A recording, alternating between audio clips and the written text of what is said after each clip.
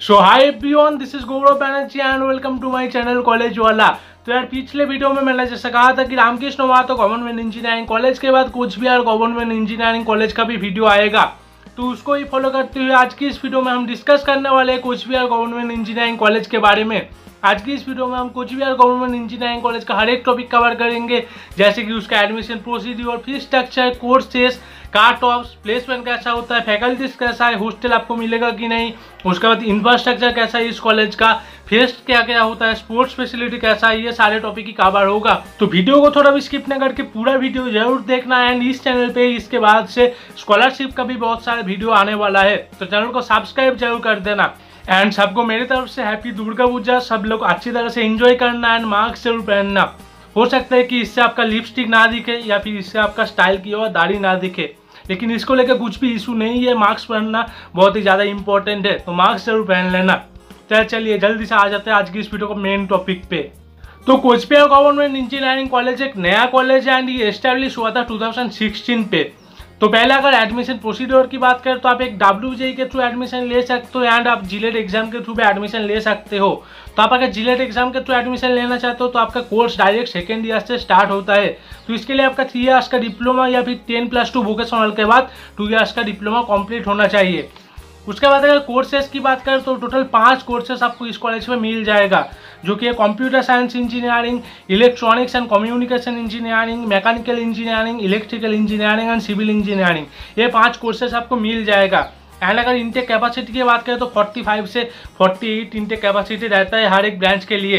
And बाकी feel होता है जिलेट कैंडिडेट्स के थ्रू उसके बाद अगर फ़ी स्ट्रक्चर की बात करें तो C S C and D C ये दोनों ब्रांच के लिए आपका फ़ी होगा सिक्स थाउज़ेंड पर सेमिस्टर के हिसाब से।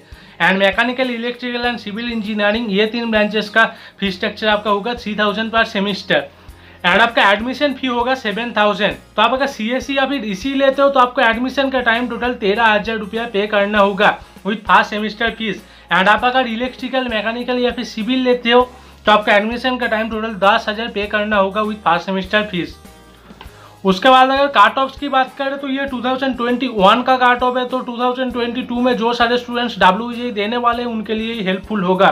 तो यार सीएससी के लिए इस साल काट ऑफ़ गया है 6552 इसी के लिए काट ऑफ़ गया है 8168 मैकेनिकल के लिए काट ऑफ़ गया है 13756 इलेक्ट्रिकल के लिए काट ऑफ़ गया है 10605 एंड सिविल इंजीनियरिंग के लिए काट ऑफ़ गया है 14176 तो आपका अगर रैंक 13000 से लेकर 14000 के बीच में भी है तो भी आपको इस कॉलेज में कोई ना कोई ब्रांच मिल ही जाएगा। तो उसके बाद अगर प्लेसमेंट की बात करें तो यार ये एक नया कॉलेज है तो प्लेसमेंट अच्छा नहीं होता। 2016 से लेकर 2020 बैच का फास्ट प्लेसमेंट हुआ था 2020 पे तो अप्रोक्सीमेटली 300 स्टूडेंट में से सिर्फ़ 95 प्लेसमेंट ऑफर्स आया था। अब 95 प्लेसमेंट ऑफर्स आया था मतलब 95 स्टूडेंट को जॉब मिलेगा, ऐसा भी नहीं है। तो यार ये चीज़ मुझे तो खराब लगा क्योंकि 300 या फिर 300 से भी ज़्यादा स्टूडेंट होता है एंड सिर्फ़ 95 ही प्लेसमेंट ऑफर्स आया था। तो यार प्लेसमेंट के लिए अभी भी ये कॉलेज सही नहीं रहेगा आपके लिए। तो कुछ अगर इक्विटर्स की बात करें तो T C S Capgemini Cognizant Infosys Hitech Wipro Purnam Oriplast ICICI Bank ये सारे कुछ इक्विटर्स आ जाते हैं इस कॉलेज पे।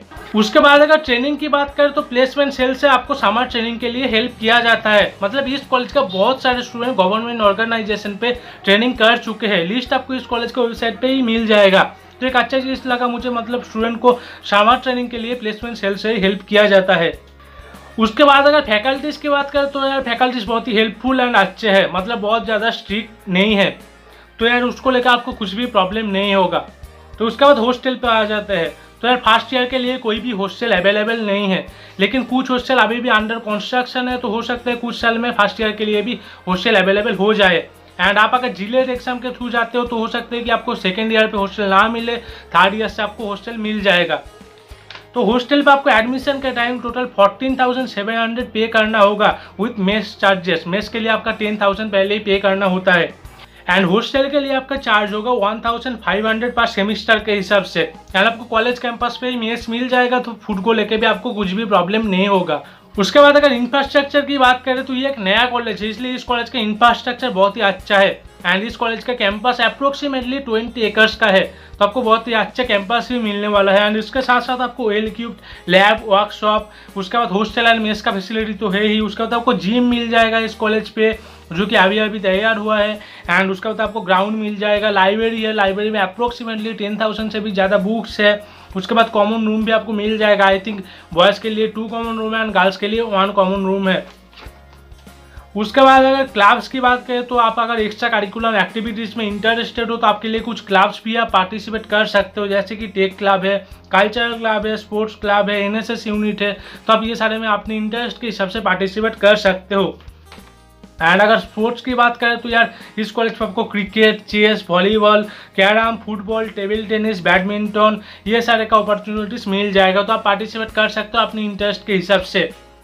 एंड अगर फेस्ट की बात करें तो यार इस कॉलेज में टेक्स फेस्ट होता है कालचाल फेस्ट होता है फेसर्स पार्टी होता है फेयर ऑयल है, उसके बाद टीचर्स डे है एनुअल स्पोर्ट्स होता है एंड कुछ इंटर कॉलेज टूर्नामेंट भी होता है पूरा साल में। तो आपको इस कॉलेज में आपका कैंपस लाइफ बहुत ही अच्छा मिलने वाला है। तो कुछ अगर प्रॉस एंड कॉन्स की बात करें तो यार जो मेन प्रॉस है इस कॉलेज का, ये गवर्नमेंट इंस्टीट्यूट है तो यार फ़ीस स्ट्रक्चर बहुत ही ज़्यादा अफोर्डेबल है। मतलब सिक्स थाउज़ेंड पर सेमिस्टर है अभी थ्री थाउज़ेंड पर सेमिस्टर जो कि ब्रांच के हिसाब से डिपेंड करता है, ये बहुत ही ज़्यादा अफोर्डेबल है। मतलब सभी स्टूडेंट अफोर्ड कर सकते हैं इस फ़ीस स्ट्रक्चर को।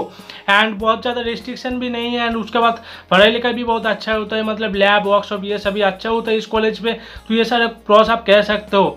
एंड उसके बाद अगर कुछ कॉन्स की बात करें तो ये एक नया कॉलेज है, इसलिए प्लेसमेंट अच्छा नहीं होता ये। सबसे बड़ा कॉन्स आप कह सकते हो। एंड उसके बाद ये कॉलेज बहुत ही रूरल एरिया पर है मतलब कुछ भी टाउन से भी बहुत दूर है तो ये ट्रेनिंग के लिए आपको कुछ प्रॉब्लम हो सकता है। तो यार ये सारे इस कॉलेज का कुछ प्रॉस एंड कॉन्स है। तो मैं आपको फाइनली यही सजेस्ट करूँगा कि आपको अगर प्लेसमेंट चाहिए तो आप इस कॉलेज को अवॉइड कर सकते हो, क्योंकि ये कॉलेज अभी भी प्लेसमेंट के लिए सही नहीं रहेगा। लेकिन आपको अगर हायर स्टडी करना है या फिर गवर्नमेंट जॉब के लिए प्रिपरेशन करना है तो आप इस कॉलेज पे आराम से एडमिशन ले सकते हो, क्योंकि यार फ़ीस स्ट्रक्चर इतना ज़्यादा अफोर्डेबल है तो आप साइड बाय साइड अपने हायर स्टडी या फिर गवर्नमेंट जॉब का प्रिपरेशन के लिए इन्वेस्ट कर सकते हो। क्योंकि आप अगर कोई भी अच्छे प्राइवेट कॉलेज में एडमिशन लेते हो तो आपका चार लाख से पाँच लाख के बीच में फ़ीस स्ट्रक्चर होगा एंड उसके बाद आपको फिर हायर अपने हायर स्टडी के प्रिपरेशन के लिए अलग से इन्वेस्ट करना होगा तो उससे अच्छा आप ये सारे कॉलेज में एडमिशन ले सकते हो।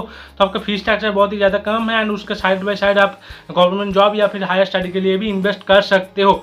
लेकिन जो सारे स्टूडेंट को आपने बीटेक के बाद ही प्लेसमेंट चाहिए एंड हो सकता है कि वो सारे स्टूडेंट प्राइवेट कॉलेजेस का फ़ीस स्ट्रक्चर अफोर्ड नहीं कर सकते तो उनके लिए मेरा यही सजेशन रहेगा कि आप पहले से ऑफ़ कैंपस के लिए प्रिपरेशन कर सकते हो।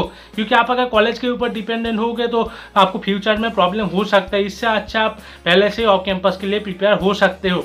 तो इसके बारे में आप अपने हिसाब से, अपने साइड से सोच सकते हो। आई थिंक मैंने आपके साथ हर एक डिटेल शेयर कर लिया है। तो आपको अगर वीडियो अच्छा लगा एंड थोड़ा भी हेल्पफुल लगा तो वीडियो को एक लाइक ज़रूर कर देना एंड चैनल को सब्सक्राइब ज़रूर कर देना। तो चलिए, फिर मिलते हैं नेक्स्ट वीडियो में नेक्स्ट अपडेट के साथ। एंड तब तक के लिए बाय बाय